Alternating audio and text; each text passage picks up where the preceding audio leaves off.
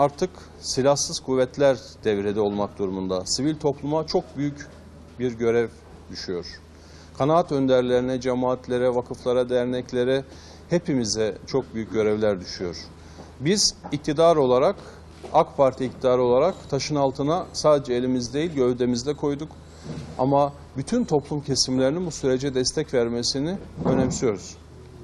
Bunu sadece terör meselesinden kurtulmak, onu geride bırakmak olarak da algılamayalım. Bu bir demokratik Türkiye inşa etme sürecidir.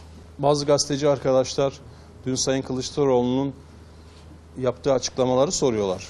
Ben de onlara dedim ki yani ben CHP sözcülerinin açıklamalarını yorumlamadan önce 48 saat bekliyorum.